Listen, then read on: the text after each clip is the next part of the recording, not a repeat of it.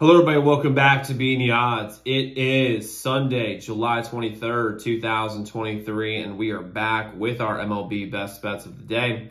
If you're new to the channel, my name is Zach, and welcome to Beating the Odds. Hit that subscribe button, like this video, hit notification bell so you never miss a pick. We post these MLB videos every single day, along with the NFL and college football, and that's back on. I cannot wait for it to be back. We had big winning years in both of those sports last year. We're also coming off big winning years, the NBA, college basketball, and NHL. Uh, we're going after our first 10,000 subscribers, so I'm really excited to have y'all here. Let's go win together today. Let's go make some money. So to recap yesterday's results, you've been fading me the last few days, you've been making a lot of money.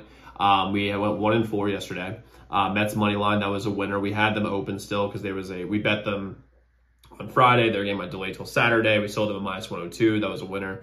Uh, with the Phillies money line, um, one nothing. I mean, the, I said what Zack Wheeler was going to do. He did it. Um, Phillies did not do anything offensively. It's a tough loss there. Um, over eight and a half. I mean, if God, if if if the Mar, I forgot who was batting for the Marlins. Marlins hit a ball in the air in the outfield. We get one home before three, and then if the same thing happens to the Rockies, we get to four to four, and then right there we get the win. But tough loss there. Uh, Astros didn't even watch it. Not gonna lie, and same with the parlay. Didn't even watch it. Um, it was tough loss overall yesterday. Uh, one and four. We're down to 5.03 units. We're up 5.03 units, excuse me, for the year. Um, and listen, I don't really want to say those numbers, but we gotta be transparent with it. Um, and listen, um, this has been frustrating the last few days. Not gonna lie. And I built a great life for myself through the betting business and doing all this stuff and like you know gambling myself, but one thing I've learned though, and I've learned this in life, I've learned this in betting, is that your your most frustrating stretches typically precede your best stretches, and I feel a best stretch coming on right now.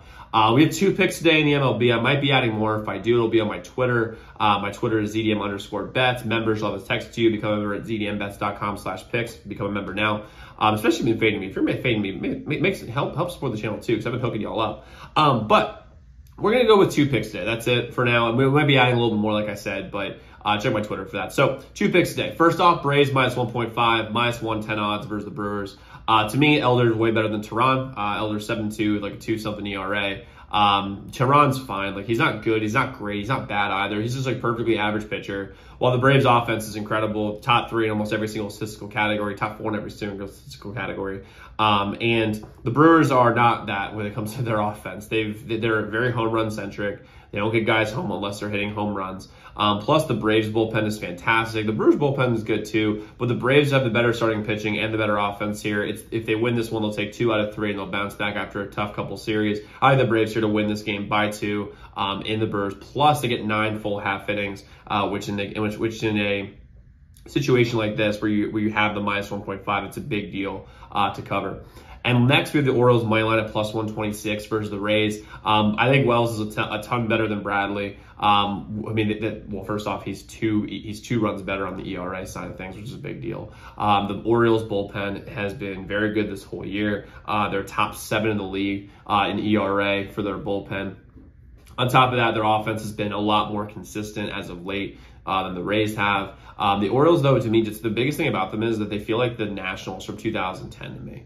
Um, the Nationals were a team that wasn't supposed to win their division. They did. Um, I think the Orioles are going to do that this year. Um, I'm going to take the Orioles here over the Rays. Plus, the Rays just seem flaky. Something's off about their team. Like they're not hitting the ball well. Their bullpen is suspect. Um, their starting pitching, other than McClanahan, has been very, very suspect as of late. And the Orioles are the exact opposite. So I like the Orioles here. You can get them at plus money on plus 126. I'm going to roll with them here.